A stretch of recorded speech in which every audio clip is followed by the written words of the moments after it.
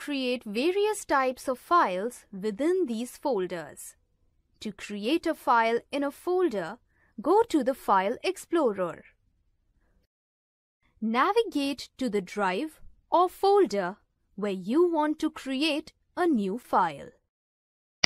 On the Home tab, from the New group, click on the New Item icon. The New Item menu appears. Now, click on the required file type. The new file appears in the folder. Type a name for the file. You can also create a new file by right-clicking the empty area in the folder.